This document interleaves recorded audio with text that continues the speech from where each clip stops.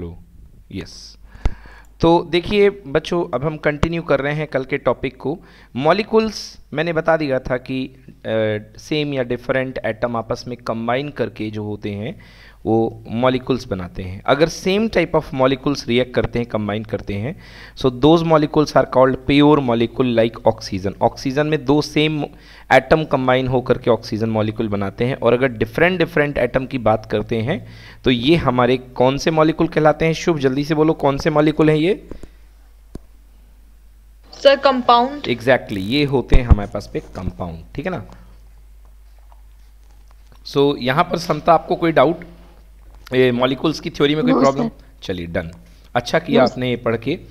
अब हम बात करते हैं एटॉमिसिटी की so we are talking about the atomicity so what is atomicity so it's nothing it is defined only as the number of atom present in the molecule मतलब आप number of atom कितने molecule में present है just उनको count कर लो।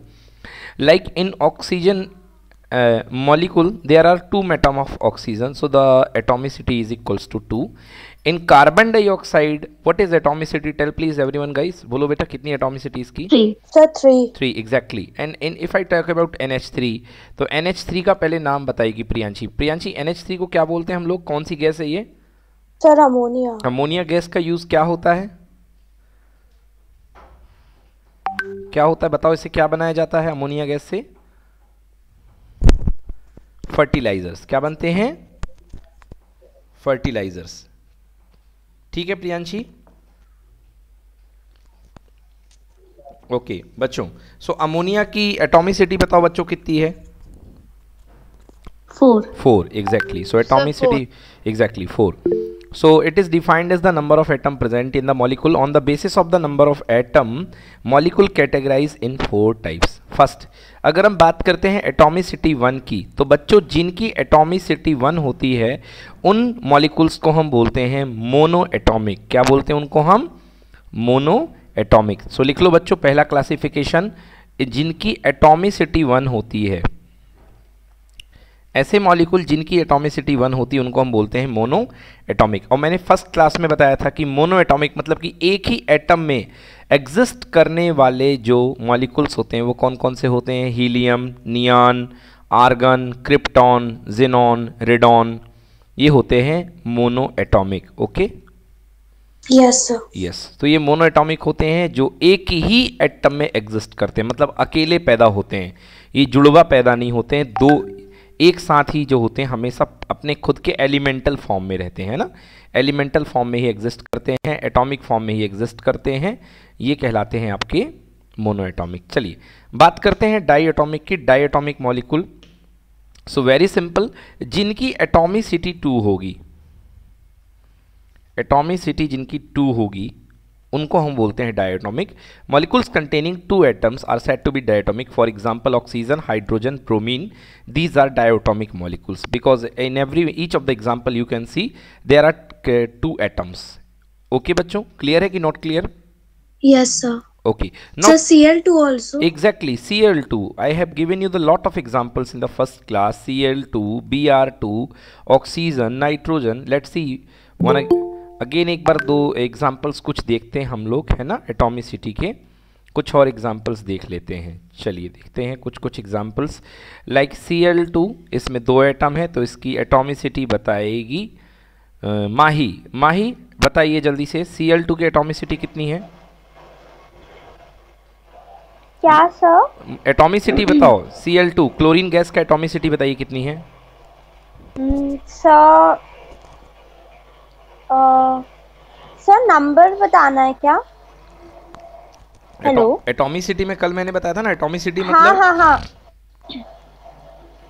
हम्म। Sir two exactly atomicity two है। Yes, चलो next Priyanshi अगर आपके yes, पास sir. एक कंपाउंड है NaCl NaCl एक कंपाउंड है तो बेटा बताओ इसमें कितनी एटॉमिसिटी है?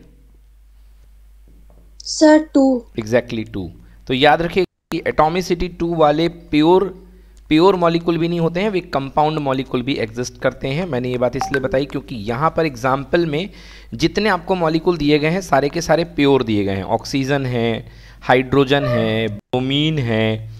ओके, इनकी सबकी एटॉमिसिटी तो है टू साथ ही साथ कुछ कंपाउंड इवेंट लिख लो, उसकी भी एटॉमिसिटी है टू NaCl हो गया sodium chloride potassium chloride okay sodium hydroxide ये कुछ कंपाउंड हैं जिनकी सबकी एटॉमिसिटी नो सोडियम हाइड्रोक्साइड की एटॉमिसिटी वन होगी कि थ्री होगी बताओ?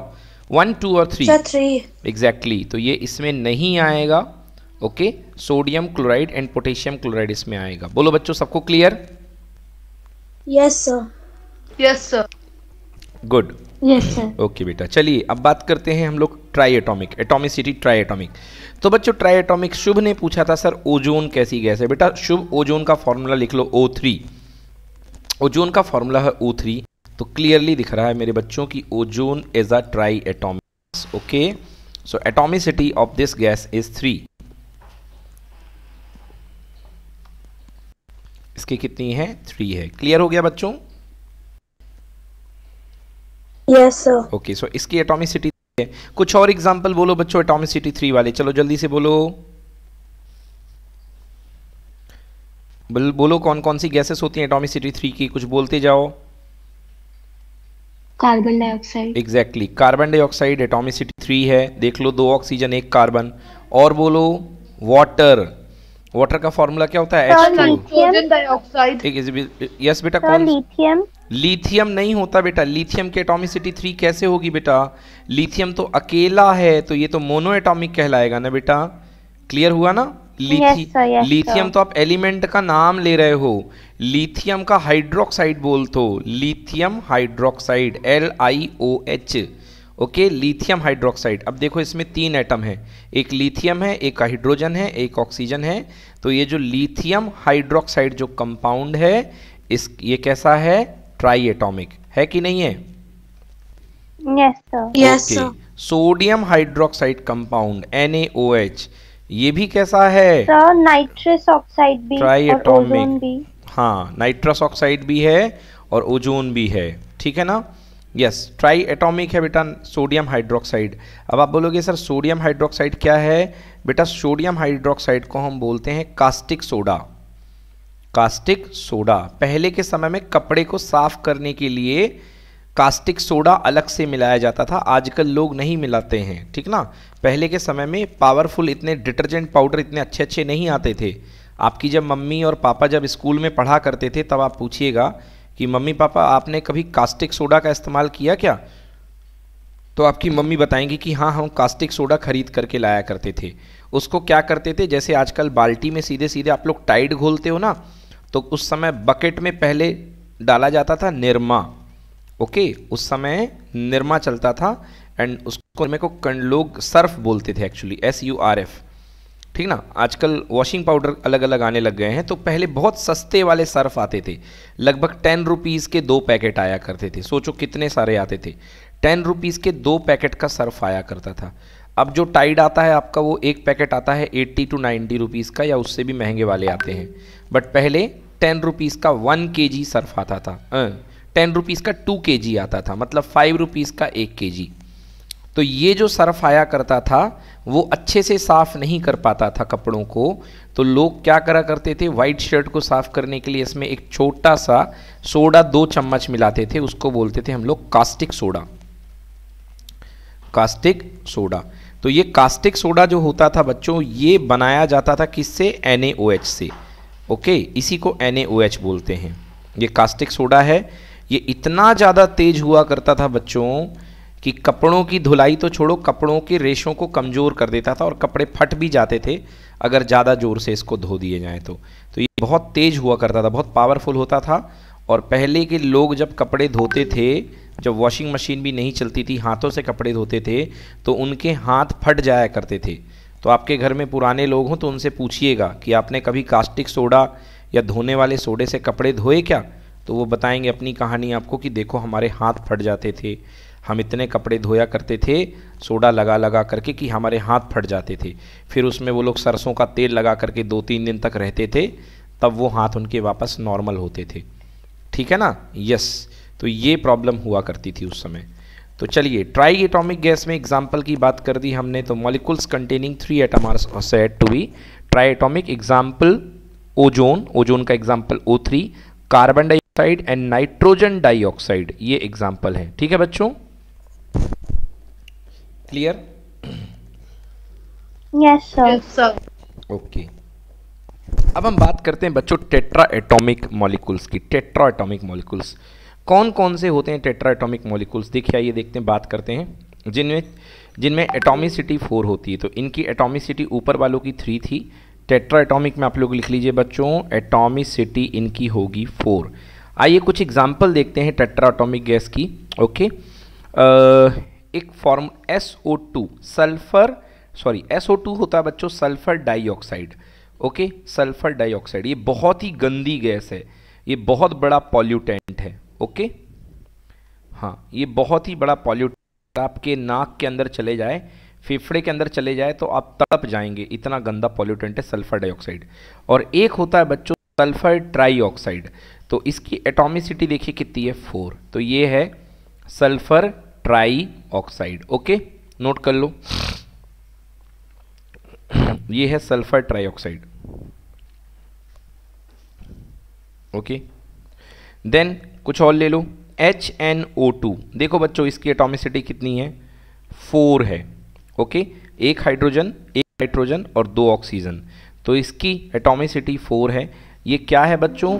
ये है नाइट्रस एसिड ये कौन सा एसिड है बच्चों? नाइट्रस एसिड इनके नाम लिखते जाइए, बहुत काम के हैं। ये धीरे धीरे अब आपको सीखने पड़ेंगे। जैसे जैसे साइंस बढ़ते जाओगे वैसे वैसे साइंस इसी की तरफ़ मुड़ती जाएगी। बोलो डन? क्लियर आया समझ में? यस सर हम्म ये नाइट्रस एसिड है ओके नाइट्रस एसिड से मुझे एक और एसिड याद आ गया जिसका नाम है कार्बोनिक एसिड जिसका नाम है कार्बोनिक एसिड और इसका फॉर्मूला होता है H2CO3 चलो मुझे बताओ इस कंपाउंड की एटॉमिसिटी क्या है? कितनी एटॉमिसिटी है बताओ बच्चों। बोलो। सर किसकी carbonic carbonic acid exactly yes बेटा। कार्बोनिक एसिड की एटॉमिसिटी यस एग्जैक्टली बिल्कुल सही है। कार्बोनिक एसिड की एटॉमिसिटी सिक्स होती है बच्चों। ठीक है ना? तो ये सिक्स एटॉमिक एटम है। मतलब सिक्स एटॉमिक मॉलिक्यूल है। ठीक है ना? ये इसमें छः एटम हुआ करते हैं। कार्बोनिक एसिड किसी ने खाया आज तक कि नहीं खाया? खाया है तो यस बोलो नहीं खाया तो नो बोलो। आप में से आज तक किसी ने कार्बोनिक एसिड खाया? पता है कि नहीं पता? नो सर नो सर आपने नो कह दिया। ये प्रियांशी ने बोला नो सर वैसे कौन सी चीज़ में पाया जाता? है। हाँ प्रियांशी तुमने नो बोला ना? हाँ सर अच्छा। प्रियांशी तुमने तुमने सबसे ज़्यादा ही कार्बोनिक एसिड खाया होगा। ठीक है ना? कोल्ड ड्रिंक पीते हो कि नहीं पीती हो प्रियांशी? नहीं सर नहीं पीती कोल्ड ड्रिंक सर पीते हैं। चल लो तो जितने लोग कोल्ड ड्रिंक पीते हैं वो एक्चुअली कार्बोनिक एसिड ही पिया करते हैं। समझ गए? कोल्ड ड्रिंक जो होती है वो कार्बोनिक एसिड ही होती है। कोल्ड ड्रिंक में लिखा रहता है कोल्ड ड्रिंक सर हाँ। जिन जिन मॉलिक्यूल्स में फोर से ज़्यादा एटम्स होते हैं उनको क्या कहते हैं? देखो फोर से ज़्यादा एटम होते हैं उनको फोर से ज़्यादा फाइव भी हो सकते हैं सिक्स भी हो सकते हैं इनको हम बोलते हैं पॉली एटॉमिक क्या बोलते हैं? पॉली. एटॉमिक हाँ एक्चुअली पॉली एटॉमिक बोलते हैं क्योंकि फोर से ज़्यादा फाइव भी हो सकते हैं सिक्स भी हो सकते हैं सेवन भी। तो अब इनके अलग अलग नाम तो ऐसे हम पढ़ते जाएँगे तो बहुत सारे नाम होते जाएँगे क्योंकि एक के लिए हमने पढ़ दिया मोनो एटॉमिक दो के लिए हमने पढ़ दिया डाई एटॉमिक तीन के लिए हमने पढ़ दिया ट्राई एटॉमिक चार के लिए क्या पढ़ा बोलो? चार के लिए क्या पढ़ा याद है? टेट्रा है ना? ये टेट्रा एटॉमिक पाँच के लिए आप बोल सकते हो पेंटा छह के लिए बोल सकते हो हेक्सा। तो ये प्रिफिक्स तो आपको याद करने पड़ेंगे मगर बच्चों चार से ज़्यादा के लिए ये सब एक ही ग्रुप में आते हैं जिनको हम बोलते हैं पॉली एटॉमिक समझ में आया? सर तो जैसे मैथ्स में नॉर्मली हम ऐसे पेंटा हेक्सा ऐसा बोलते हैं तो ऐसे इसमें एग्जैक्टली exactly. बिल्कुल सही एग्जैक्टली exactly. अगर वन के लिए केमिस्ट्री में मोनो यूज़ होता है जैसे मैथ्स में मोनोमियल एक टर्म के लिए मोनोमियल दो के लिए वहाँ बाइनोमियल होता है मगर यहाँ पे दो के लिए डाई यूज़ होता है। तीन के लिए बच्चों ट्राई यूज़ होता है। चार के लिए केमिस्ट्री में टेट्रा यूज़ होता है। पाँच के लिए बच्चों पेंटा यूज़ होता है। छः के लिए बच्चों यूज़ होता है हेक्सा ओके सात के लिए यूज़ होता है हेप्टा हेप्टा आठ के लिए यूज़ होता है बच्चों ऑक्टा नौ के लिए बच्चों यूज़ होता है नोना। नोना नोना। और दस के लिए यूज़ होता है बच्चों डेका।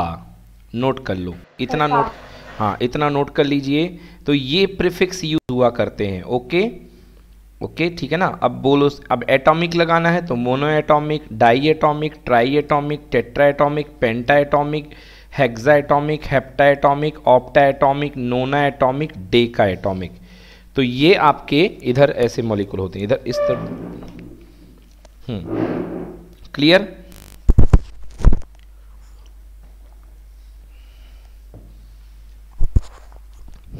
ठीक है बच्चों?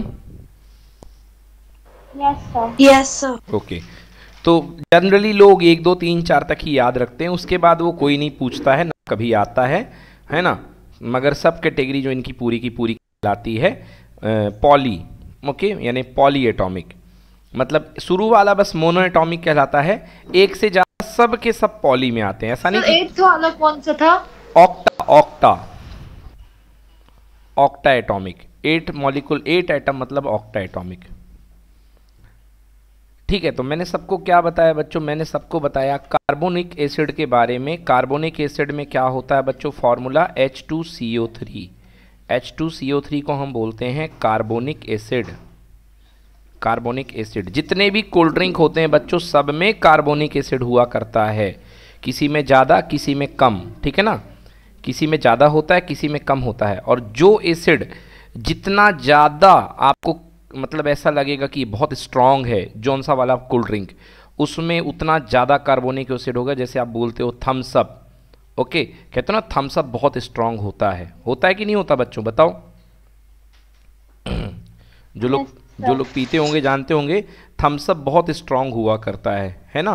फेंटा कम स्ट्रांग होता है बाकी वाले कम स्ट्रांग हैं ना? तो जो ज़्यादातर जो काले कलर के होते हैं कोल्ड ड्रिंक वो बहुत ज़्यादा स्ट्रांग होते हैं। तो उनमें ये ज़्यादा होता है। उनमें कार्बोनिक एसिड क्या होता है? ज़्यादा हुआ करता है। क्लियर बच्चों?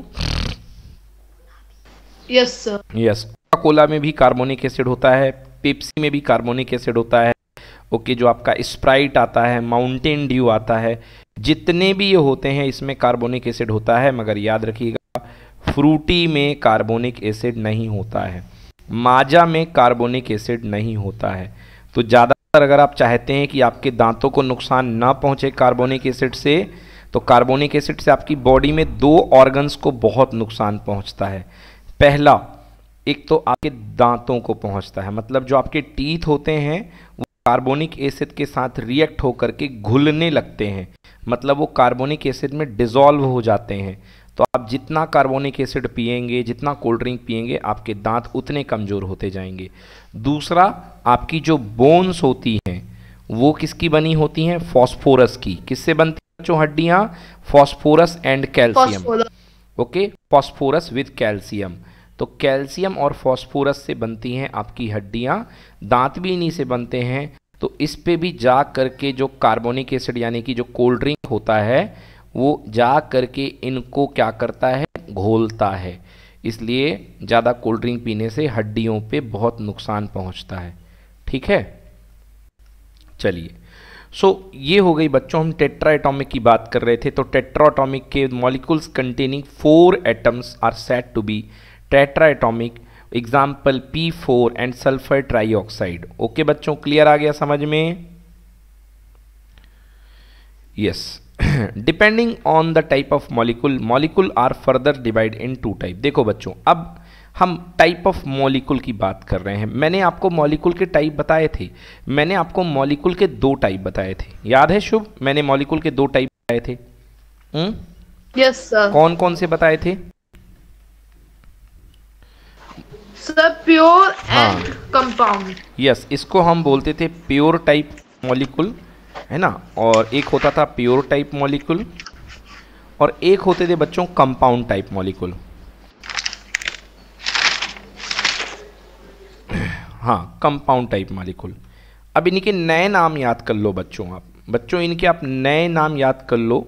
इनके सही नाम क्या है केमिस्ट्री में? जिसमें एक ही टाइप के, एक ही टाइप के एलिमेंट जिसमें कंपाउंड मॉलिक्यूल बनाए, जिसमें जैसे like O two like C L two like nitrogen like hydrogen like ozone okay hydrogen हो गया ऑक्सीजन हो गया like chlorine like fluorine like bromine तो इसमें एक ही एक टाइप के जो एटम कंबाइन होकर के क्या बना रहे हैं? मॉलिक्यूल बना रहे हैं। तो ऐसे मॉलिक्यूल को जो नाम दिया गया है, उसको बोला गया है होमो एटॉमिक मॉलिक्यूल तो याद रखिएगा, जो प्योर होते हैं, इनका नाम होता है होमो। होमो का मतलब क्या होता है? सेम। होमो को इंग्लिश में क्या बोलते हैं? सेम। Homo atomic molecule. तो जिनमें एक ही टाइप के एटम यूज़ होते हैं, उनको हम बोलते हैं होमो। और होमो का अपोजिट क्या होता है बच्चों? Hetero okay? तो ये होते हैं हेक्ट्रो एटॉमिक मॉलिक्यूल। इन्हीं को कंपाउंड बोलते हैं। इन्हीं को हम कंपाउंड टाइप बोलते हैं। हेक्ट्रो एटॉमिक मॉलिक्यूल ओके इसमें क्या कैरेक्टरिस्टिक है? इसमें सेम एटम यूज़ होते हैं। और इसमें क्या कैरेक्टरिस्टिक्स है? इसमें डिफरेंट एटम यूज़ होते हैं। अब माही बताएगी कुछ हेक्ट्रो एटॉमिक मॉलिक्यूल के एग्ज़ाम्पल माही बताओ बेटा हेक्ट्रो एटॉमिक मॉलिक्यूल के एग्ज़ाम्पल हम्म बोलो माही। माही तुम्हारी हम्म कौन कौन से? हेलो। बोलो। चलो माही की आवाज़ नहीं आ रही है। प्रियांशी आप बोलो बेटा हेक्टर एटॉमिक मॉलिक्यूल के example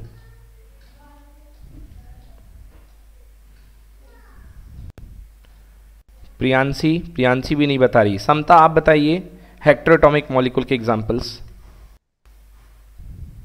sir CO two H C O two exactly H G C L two H C C L two sir water water exactly H two okay और एक किसी ने बताया था? Sir H- sir carbonic acid M G C L two H two C O three C O two लिख लिया बेटा। Carbonic acid भी लिख लिया। किसी ने बोला H G C L two हाँ भाई ये किसने बोला बेटा? H G C M L G C L two okay तो दोनों ही होते हैं बच्चों। M G C L two भी बनता है और H G C L two भी बनता है। मैं दोनों के नाम भी आपको बता देता हूँ। H G C L two का मतलब होता है मरकरी मर मर्क्यूरिक क्लोराइड। समझ गए ना? ये मरकरी का क्लोराइड है और ये है मैग्नीशियम का क्लोराइड। तो एक है मैग्नीशियम क्लोराइड और एक है मरकरी क्लोराइड। समझ गए?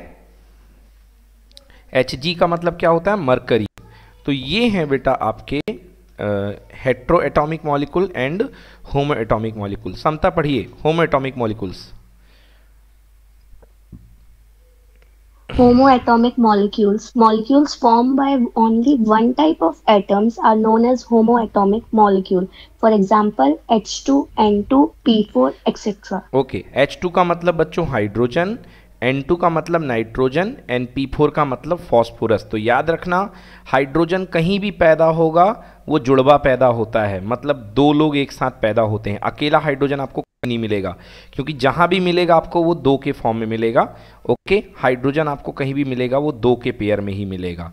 सिंगल हाइड्रोजन भी लेने जाओगे तो H2 ही लेकर के आओगे। कभी H नहीं मिलेगा।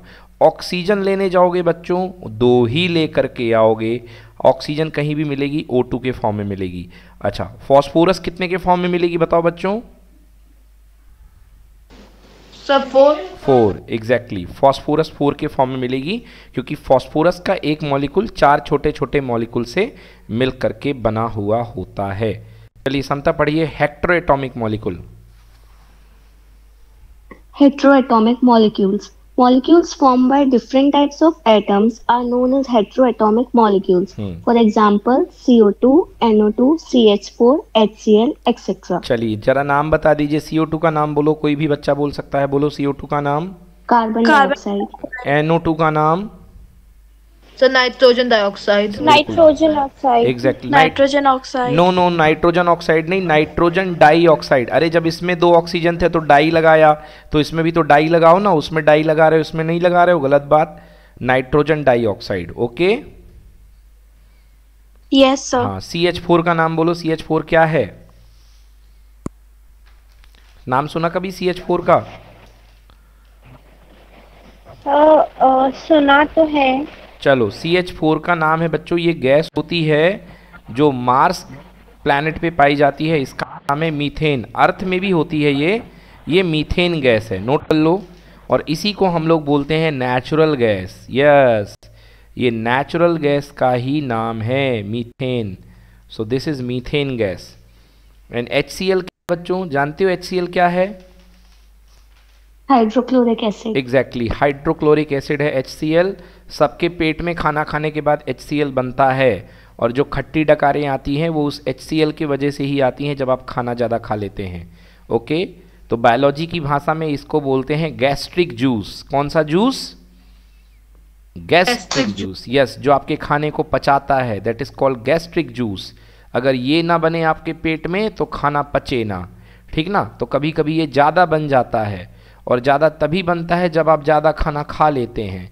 तो ज़्यादा बनने की वजह से आपको खट्टी डकारें आती हैं दैट इज़ कॉल्ड एसिडिटी हो गई ओके फिर आप पीते हैं उसको खम, ख़त्म करने के लिए इनो, और बोलते हैं काम शुरू सिर्फ़ छः सेकेंड में ओके तो एसिडिटी ख़त्म करने के लिए इनो का यूज़ किया जाता है। चलिए अब बात करते हैं हम मॉलिकुलर मास की।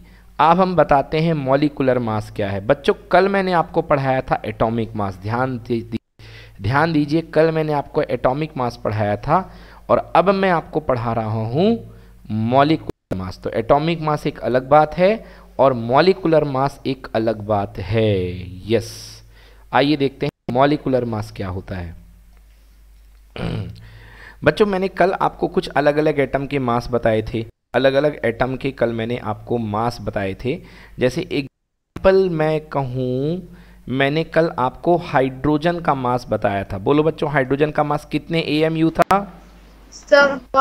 One A M U exactly फिर मैंने आपको कार्बन का मास बताया था। बोलो कार्बन का मास कितना था? बिल्कुल सही। Twelve A M U okay ये कार्बन एटम का मास था नीचे वाला और ये हाइड्रोजन एटम का मास था। तो अलग अलग एटम के अलग अलग मास हुआ करते हैं। हमने बताया था मतलब जो कार्बन है वो हाइड्रोजन की तुलना में कितना भारी है? 12 टाइम्स क्योंकि कार्बन का मास जो है 12 एम है तो 12 टाइम्स भारी है। तो अब हम पढ़ रहे हैं मॉलिकुलर मास ये तो थे एटॉमिक मास एग्ज़ाम्पल के लिए सबसे पहले मैं दिखाता हूँ आपको एक compound C H four C H four में क्या चीज़ें हैं बच्चों? सी एच फोर में एक कार्बन एटम है और चार हाइड्रोजन एटम है। तो यदि आप एक कार्बन एटम का मास लिखोगे तो कितना होगा? 12 ए और शॉर्ट में बच्चों इसको जब हम लोग जाते हैं ए एम यू लिखते लिखते तो हम लोग 12 यूनिट भी लिख देते हैं तो पुलिस आपको नहीं पकड़ेगी। आप आराम से 12 यूनिट लिख सकते हो। और इसका मास कितना होगा बच्चों? चलो बताओ बच्चों यहाँ पर हाइड्रोजन कितने हैं? एक दो या तीन या चार? सर फोर फोर तो जब एक हाइड्रोजन का मास वन ए होता है तो फोर हाइड्रोजन का मास कितने ए हो जाएगा? Sir four four M U so 12 you can write also. 12 unit plus 4 unit. This means mass equal to how much? 16 AMU 16 unit. or you can say 16 unit. समझ में आया? So atomic mass क्या होता है? Very simple बच्चों atomic mass होता है किसी सॉरी बच्चों मॉलिकुलर मास बताना था मुझे। तो मॉलिकुलर मास क्या होता है? किसी मॉलिकुल में प्रेजेंट जितने भी एटम हैं उन सब के एटम के मास का सम उन सभी एटम्स के मास के सम को हम बोलते हैं मॉलिकुलर मास। क्लियर हो गया? यस सर चलिए अब मैं आपको पूछता हूँ मुझे बताइए पानी का एक मॉलिकुल का मास बताइए कितने यूनिट होगा? पानी के एक मॉलिकुल का मास मैं आपको अलग अलग मास बता देता हूँ हाइड्रोजन का बता चुका हूँ। ऑक्सीजन के एक एटम का मास होता है बच्चों 16 एएमयू चलिए। 80 में एमयू बिल्कुल सही। एग्जैक्टली exactly, क्योंकि दो हाइड्रोजन है तो टू तो two multiplied by one AMU okay and plus 16 AMU तो 16 AMU plus 12 2 AMU that is equal to 18 AMU और you can say 18 यूनिट समझ में आया? तो ऑक्सीजन का सॉरी वाटर का मास कितना होगा बच्चों? 18 AMU clear clear yes sir okay चलिए बच्चों मुझे बताइए ग्लूकोज का मास कितना होगा? ग्लूकोज का formula C six H twelve O six चलिए बताइए ग्लूकोज के एक मॉलिक्यूल का मास कितना है? ग्लूकोज के एक मॉलिक्यूल का मास कितना है?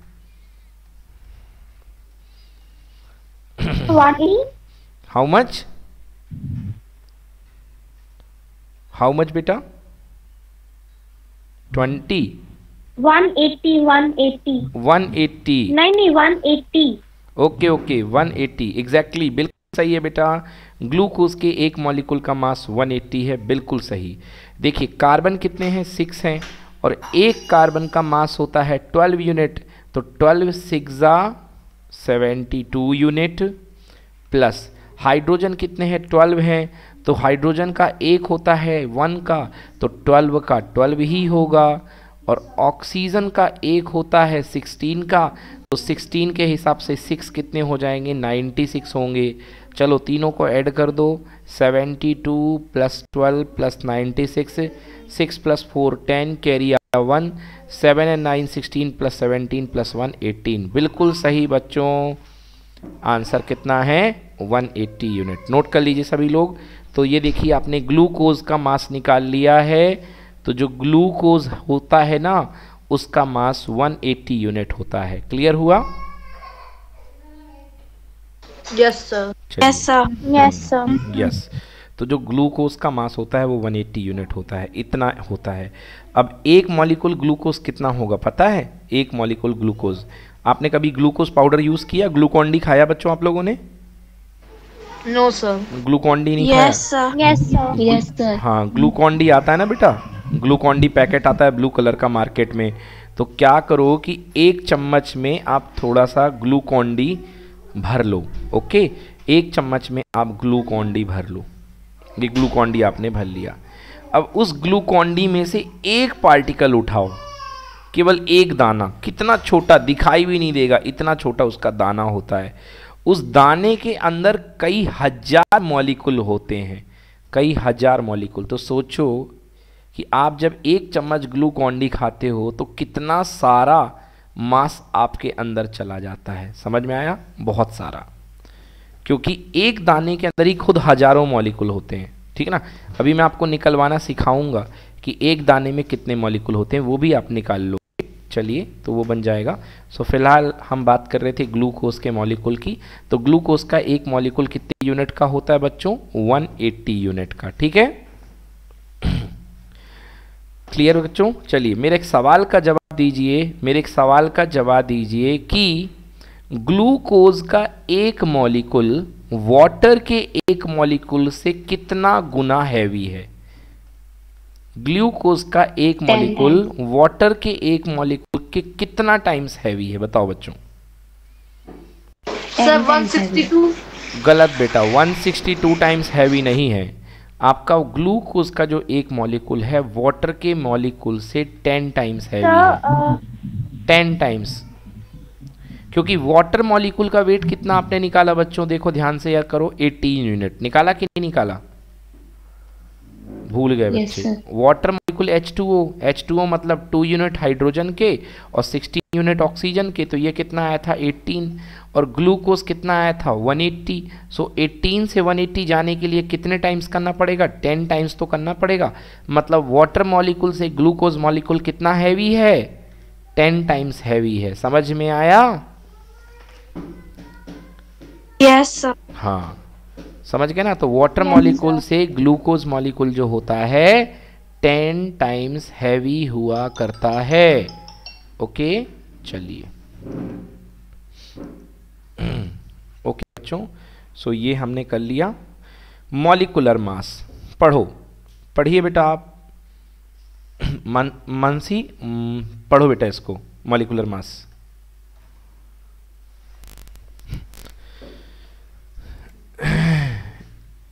समता मैं आपसे बोल रहा हूँ बेटा पढ़िए इसको molecular mass it is defined Yeah, molecular mass. It is defined as the sum of atomic masses of all the atoms present in a molecule. For example, molecular mass of CO2 is equals to 1 into atomic mass of carbon plus 2 into atomic mass of oxygen. That is 12 plus 2 into 16 is equals to 44. हाँ बच्चों verify करिए अपनी copy में carbon dioxide के एक molecule का मास निकाल करके कार्बन डाइऑक्साइड के एक मॉलिक्यूल का मास निकालिए सब लोग 44 आ रहा है सबको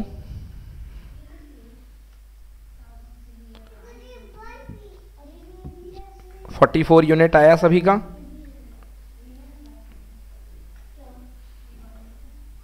Yes, sir. यस तो देखिए Yes, sir. हाँ एग्जैक्टली exactly. तो ये 44 यूनिट आ रहा है इसका। तो मुझे ये बताओ शुभ कि ज़्यादा हैवी कौन है? ज़्यादा हैवी कौन है शुभ? एक ऑक्सीजन गैस का मॉलिक्यूल या कार्बन डाइऑक्साइड गैस का मॉलिक्यूल बताओ शुभ। ऑक्सीजन ऑक्सीजन गैस का मॉलिक्यूल ज़्यादा हैवी है? चलो देख लेते हैं। कितने लोग शुभ के साथ एग्री कर रहे हैं कि ऑक्सीजन का हैवी है? यस बोलो। शुभ कह रहा है कि ऑक्सीजन ज़्यादा हैवी है। क्या ये बात सही है? Yes, sir. अच्छा चलिए। Oxygen because it contains uh, two atoms, na? चलो हाँ। ऑक्सीजन देखते हैं ऑक्सीजन गैस का मास कितना आएगा। तो ऑक्सीजन गैस का जो एटम होता है उस सॉरी जो मॉलिक्यूल होता है दैट इज़ O2 तो O2 में दो ऑक्सीजन एटम है और एक ऑक्सीजन होता है 16 का। होता है कि नहीं होता बोलो? तो Yes, sir. 16 Yes, sir. Two जा 32 यूनिट तो एक ऑक्सीजन का मॉलिक्यूल 32 यूनिट वेट रखता है मगर कार्बन डाइऑक्साइड का एक मॉलिक्यूल कितना रखता है? 12 कार्बन का 12 और 2 टाइम्स ऑफ़ 16 मतलब 32 plus twelve equal to 44 unit Shubh ये आपका गलत रहा आंसर ज़्यादा हैवी कौन है? कार्बन डाइऑक्साइड आई बात समझ में. सो कार्बन डाइऑक्साइड का एट मॉलिक्यूल जो है वो ज़्यादा हैवी है. क्लियर बच्चों? एवरीवन इज़ क्लियर चलो चलिए. अगला टॉपिक बच्चों अपनी कॉपी में हेडिंग डालिए आयंस आयंस डालिए हेडिंग आयंस ठीक ना?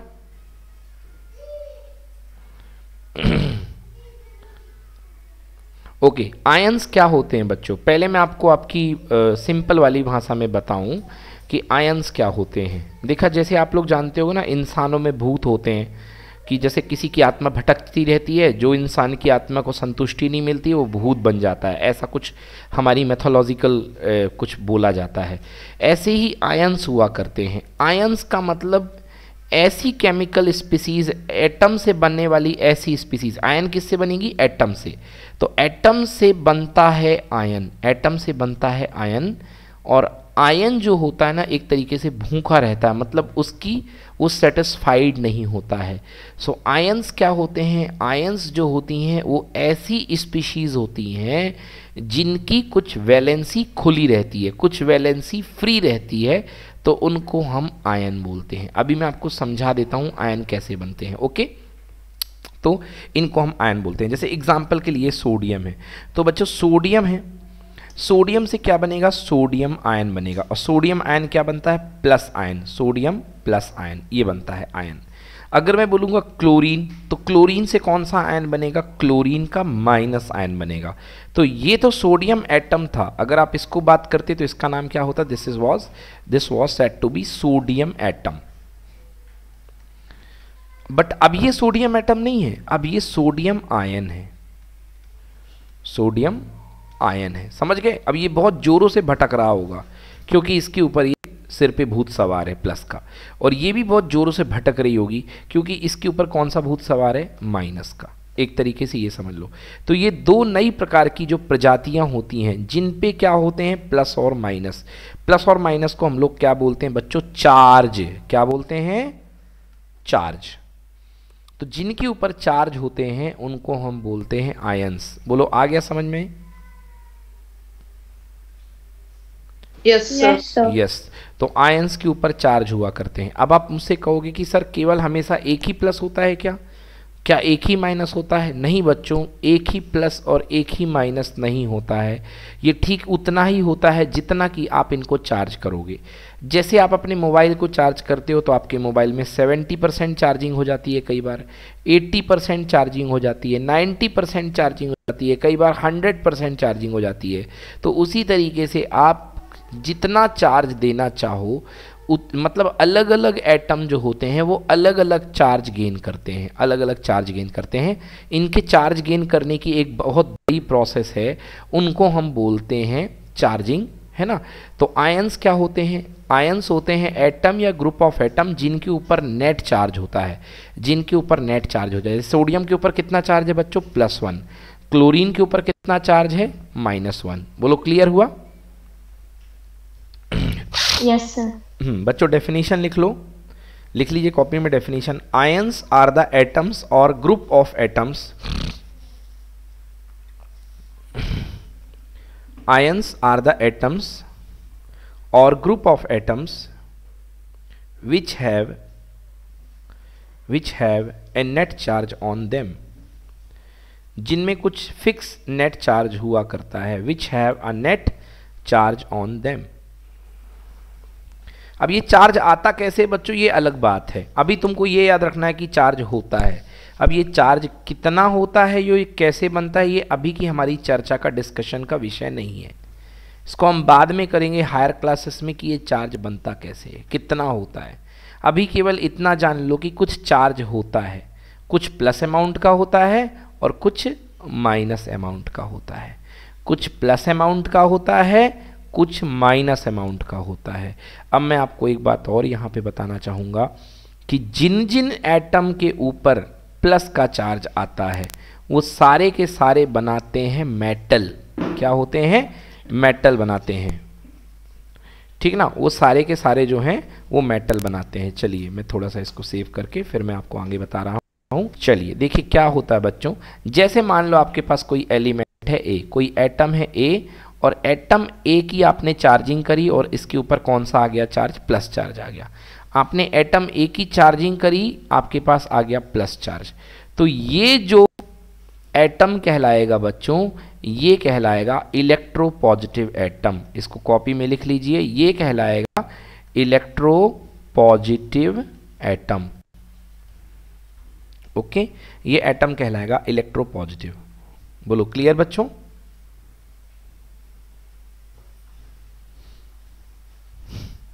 क्लियर है? Yes, पॉजिटिव Yes, मतलब इसके ऊपर पॉजिटिव चार्ज आता है। और इलेक्ट्रो पॉजिटिव एटम कौन होते हैं? इलेक्ट्रो पॉजिटिव एटम होते हैं मेटल्स नोट कर लीजिए metals metals electropositive atom मतलब मेटल्स मतलब ये क्या करते हैं? ये इलेक्ट्रॉन को डोनेट करते हैं। इलेक्ट्रॉन को ये डोनेट करते हैं। इलेक्ट्रॉन डोनेट करेंगे। मतलब लोग सब दानवीर हैं बड़े बड़े पैसे वाले लोग हैं जो दान किया करते हैं, ओके? इलेक्ट्रो पॉजिटिव तो देखा आपने, एक एटम देखा ए जो प्लस चार्ज ले आता है। दूसरा एटम देखिए बी जो माइनस चार्ज लेकर के आता है, जो अपने ऊपर माइनस चार्ज डेवलप कराता है। तो ऐसे एटम को जो माइनस का चार्ज डेवलप करा दे, उसको हम बोलते हैं इलेक्ट्रोनेगेटिव एटम इलेक्ट्रोनेगेटिव एटम जो माइनस का चार्ज डेवलप करा दे उसको हम बोलते हैं electronegative and this is called non metal ये नॉन मेटल्स होते हैं बच्चों।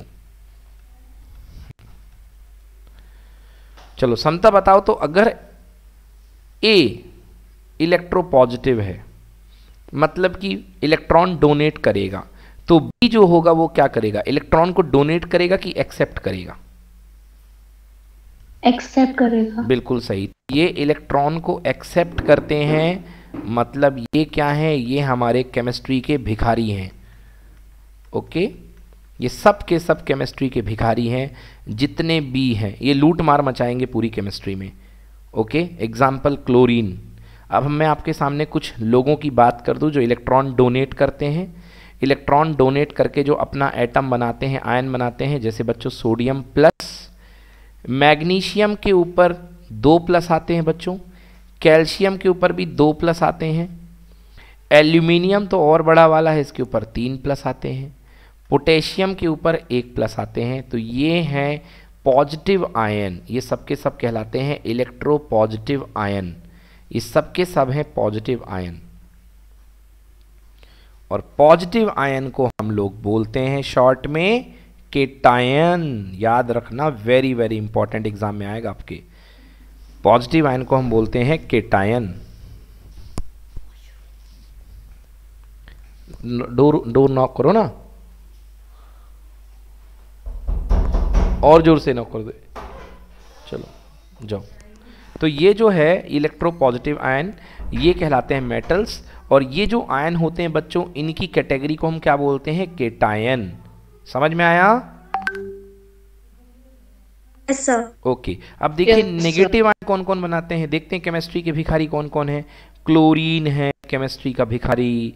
ब्रोमीन है एक नेगेटिव आयन। माइनस वन लिख दो। या तो माइनस लगाओगे तो भी माइनस वन है और माइनस वन लिखोगे तो भी माइनस वन है। क्लोरीन है ब्रोमीन है फ्लोरीन है ऑक्सीजन माइनस टू लेके है नाइट्रोजन माइनस थ्री लेके है ओके, ये सब नेगेटिव वाले हैं। तो इनको हम क्या बोलते हैं? ये सब के सब नेगेटिव आयन हैं, इनको हम बोलते हैं anion A N I O N तो जो नेगेटिव आयन बनते हैं, वो कहलाते हैं एनायन और जो पॉजिटिव आयन होते हैं, वो कहलाते हैं केटायन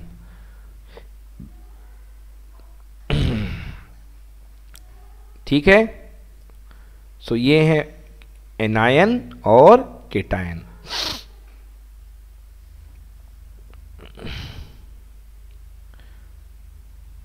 बन जाएगा? Yes, sir. ओके किसी को किसी से सवाल पूछना है प्लीज़ वेलकम कोई सवाल है क्या किसी के मन में? एनायन केटायन को लेकर के. एनायन मतलब निगेटिव आयन केटायन मतलब पॉजिटिव आयन समझ गए ना? मैं कैसे नहीं भूलता हूँ? मैं एनायन नहीं भूलता हूँ बस मुझे उससे याद आ जाता है. एनायन भले ही ऐसे लिखा है मैं एनायन को ऐसे याद रखता हूँ. एन आयन एन मतलब निगेटिव तो जो निगेटिव आयन वाला होता है उसको एनायन बोलते हैं और जो पॉजिटिव वाला होता है वो केटायन बन गया। समझ में आया? अब कभी Yes, sir. कभी नहीं बोलते Yes, आपको. एनायन को एन आयन समझो एन फॉर निगेटिव तो जो निगेटिव आयन होते हैं वो एनायन होते हैं और जो पॉजिटिव आयन होते हैं इसमें केटायन होते हैं। Yes yes, Shubh. एंड बाकी स्टूडेंट कोई डाउट इससे रिलेटेड कि नहीं है doubt No, sir. Okay no sir. चलिए तो ये हो गए हमारे एनायन और ये हो गए केटायन। अब आप कहेंगे सर ये इनका काम क्या है? सर ये हमको इतना तो पढ़ा दिया आपने। इनका काम क्या है? तो मुझे बताएँ वो बच्चे जिनके घर में इन्वर्टर लगा हो कितने बच्चे हैं क्लास में जिनके यहाँ इन्वर्टर लगा हुआ है? बोलो लगा है कि नहीं लगा? किसी के यहाँ लगा है? यस सर चलो शुभ Yes, के यहाँ। Yes. चलो सबके यहाँ ऑलमोस्ट इन्वर्टर लगा है। बेटा इन्वर्टर के पास आप देखे होगे एक बड़ी सी बैटरी रखी होगी। रखी रहती कि नहीं रखी रहती? सर रखी. हाँ Yes, एक sir. बड़ी सी बैटरी एक तो इन्वर्टर का बॉक्स होगा जिसमें ग्रीन कलर की लाइट जलती है और एक बड़ी सी बैटरी रखी होगी इन्वर्टर की ऐसी कुछ। ओकाया बैटरी है ना? कुछ ऐसी रखी होगी या एक्साइड की बैटरी कुछ भी रखी होगी बैटरी रखी होगी।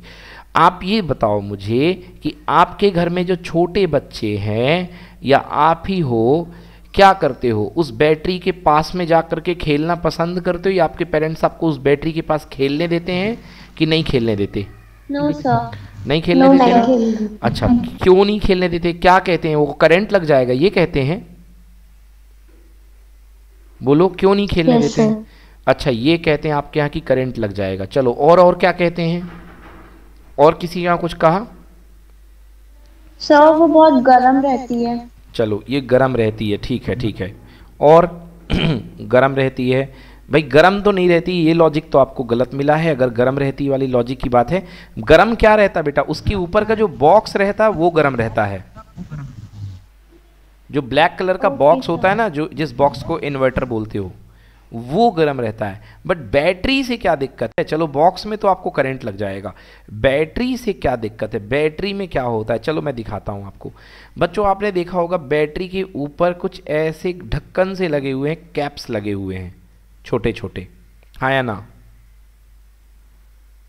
यस सर हाँ। देख लो जा करके अगर देखना हो तो देखे ना हो तो। ऐसे कुछ कैप लगे हुए हैं। लगे हैं ना?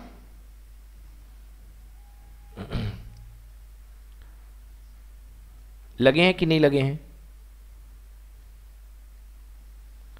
Yes, sir. हम्म। और अब आपने यदि कभी अपने पेरेंट्स को या बाहर से कोई बंदा आता हो आपने देखा होगा वो कभी कभी इसको साफ़ करने के लिए या इसको सही करने के लिए इनको खोलता है और इनके अंदर कुछ भरता है। भरते हुए देखा आपने कि नहीं देखा? सर देख। देखा है। शुभ तुम्हारे यहाँ कभी बैटरी ठीक होती है? मतलब आते हैं भैया भरने वाले? यस सर अच्छा। वो भरते हैं तो क्या भरते हैं तुमको पता है? एक बड़ा सा ड्रॉपर लेकर के आते हैं बहुत। ऑयल ऑयल नहीं भरते हैं शुभ। गलत जानकारी आपने मतलब आपने पूछा नहीं उन भैया से। वो ऑयल नहीं रहता है बेटा वो बहुत ही खतरनाक वाला एसिड होता है। आप जा कर के देखिए बैटरी के ऊपर ऊपर जो है थोड़ा सा एसिड लगा होगा। और गलती से अगर आपके हाथ में लग गया होगा तो उस एसिड को अगर आपने टेस्ट करके देखा हो तो वो बहुत ही खट्टा हुआ करता है बहुत ज़्यादा खट्टा। वो एसिड अमूमन अक्सर क्या होता है बैटरी ऊपर से छपी रहती है एसिड से। बैटरी का पानी जो होता है ऊपर आ जाता है।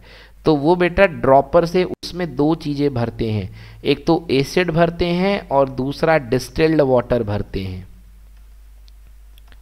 समझ में आया कि नहीं आया?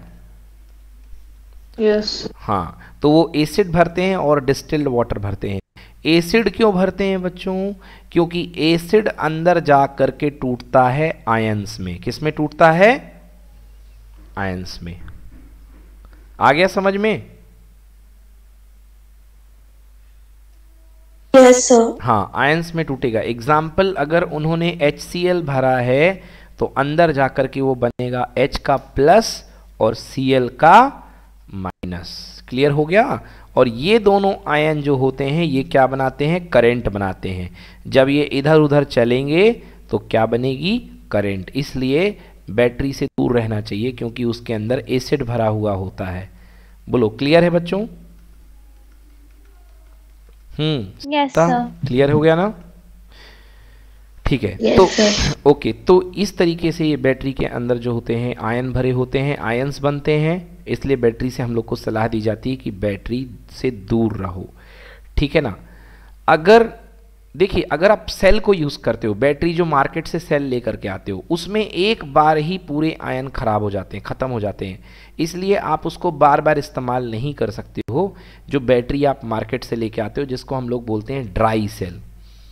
मगर इस बैटरी को आप बार बार रिचार्ज करके यूज़ कर सकते हो। मतलब इसमें आप बार बार आयंस बना सकते हो। तो इसलिए ये जो बैटरी होती है होती है रिचार्जेबल और ये वाली जो बैटरी होती है, जो मार्केट से आती है, वो रिचार्जेबल नहीं होती। जो आपके घड़ी के पीछे सेल लगा होता है, वो रिचार्जेबल नहीं होता है।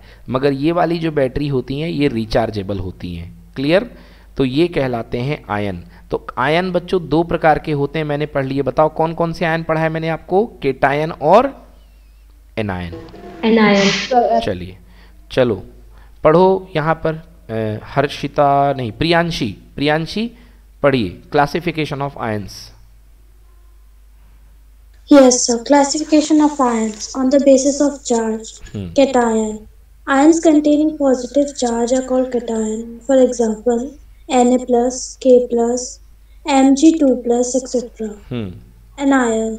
Ion containing negative charge are called anion. For example, Br minus, F minus, O2 minus, etc.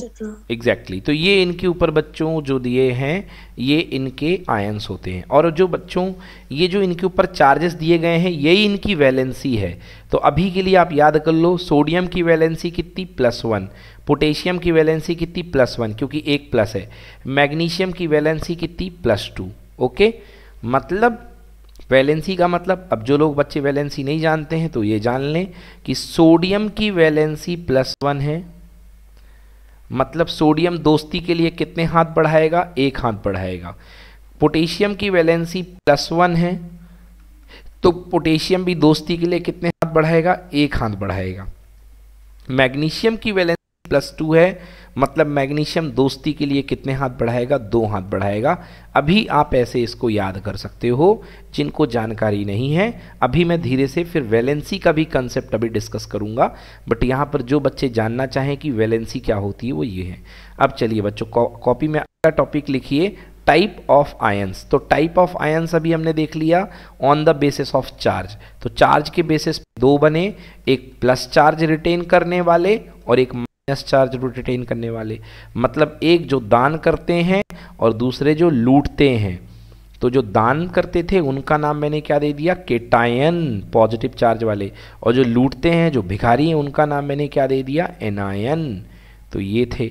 अब अपन बात करते हैं on the basis of number of ion मतलब अब हम बात करते हैं कि आयंस जो होते हैं, वो हम कितने पे पढ़ रहे हैं? उनके एटम के बेसिस पे। On the basis of number of atoms बेटा, ये आयन लिख दिया नहीं है, इसको एटम कर लेना। On the basis of number of atom तो अगर केवल एक एटम है आयन में तो वो कहलाएगा मोनो एटॉमिक एटम और अगर एक से ज़्यादा एटम है तो वो कहलाएगा पॉली एटॉमिक समझ में आया? अगर एक एटम है तो मोनो एटॉमिक और अगर ज़्यादा एटम है तो पॉली एटॉमिक चलिए। तो मुझे बताओ यहाँ पर प्रियांशी कि ये कौन सा एटम है? N A plus monoatomic की polyatomic sir it's monoatomic K plus क्या है? Sir monoatomic M G plus two क्या है? बोलो बोलो बोलो बोलो बोलो। एम जी प्लस टू क्या है? सर पॉली एटॉमिक गलत। पॉली एटॉमिक गलत गलत गलत। अरे बेटा एम में एक ही तो एटम है। मैग्नीशियम बस तो है। एटम कितने हैं? चार्ज मत देखो। मैंने कहा है टाइप ऑफ़ एटम कितने हैं? एक ही तो है। मैग्नीशियम ये भी मोनो एटॉमिक है। आया समझ में? यस सर हाँ चार्ज से थोड़ा ना काउंट हो रहा है। एटम कितने? एक ही एटम पे तो चार्ज है। देखो ना मैंने ऊपर भी तो डायग्राम बनाया है। देखो एक एटम के कितने हाथ खुले हैं? दो हाथ खुले हैं। तो दो हाथ खुल गए मतलब वैलेंसी प्लस टू तो वैलेंसी नहीं पूछ रहा हूँ मैं आपसे मैं पूछ रहा हूँ आपसे कौन सा एटॉमिक है? मोनो है कि पॉली है? हाँ बी आर माइनस बोलो क्या है? Sir monoatomic F minus क्या है? Monoatomic O two minus क्या है? बोलो बोलो बोलो। ओ टू माइनस क्या है? सर मोनो एटॉमिक एग्जैक्टली ये सब के सब मोनो एटॉमिक हैं। आइए पढ़ते हैं पॉली एटॉमिक क्या होते हैं? प्रियांशी पढ़ो monoatomic ions Monoatomic ions. Ions containing only one atom are said to be monoatomic. For example, Na plus, K plus, Br minus, F minus, etc. Hmm Poly- polyatomic पढ़िए Polyatomic ions. Ions containing more than one atom are said to be polyatomic. For example, CO3 2 minus, NO3 minus, HCO3 minus, etc. Exactly ये देखिए ये हैं group of atom है यहाँ पे। तो देखिए मैंने डेफिनेशन में क्या पढ़ाया था? आयन कौन कौन हो सकते हैं? भैया आयन अकेला एटम भी हो सकता है एंड ग्रुप ऑफ़ एटम भी हो सकता है। मैंने ये नहीं कहा था कि आयन केवल एटम ही हो सकता है। एटम से बनता है मगर ग्रुप ऑफ़ एटम से भी बनता है। तो आयन एटम भी हो सकता है और ग्रुप ऑफ़ एटम भी हो सकता है। मगर भटकती आत्माएँ रहेंगी, इनके ऊपर कोई ना कोई चार्ज रहेगा। तो पॉली एटॉमिक आयन ये आपके सामने दिखाई दे रहे हैं।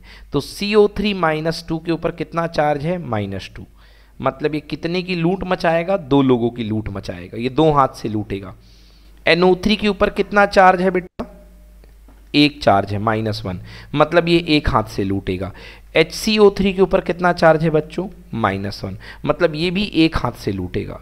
मगर CO3 जो है, वो दोनों हाथ से लूटेगा CO3 माइनस टू चलिए अब इसके हम नाम बता दें इन आयन के। बच्चों, लिख लो अपनी अपनी कॉपी में। CO3 माइनस टू का नाम है कार्बोनेट आयन यस ये है कार्बोनेट आयन एग्जैक्टली चलिए NO3 माइनस वन का नाम लिख लो बच्चों कॉपी में। इसका नाम है नाइट्रेट आयन ये कहलाता है नाइट्रेट आयन। और H C O three minus one का नाम क्या है भैया? सी ओ थ्री क्या था? कार्बोनेट था। तो एच और लगा दिया, बन क्या गया? Hydrogen carbonate ion. Yes, hydrogen carbonate ion.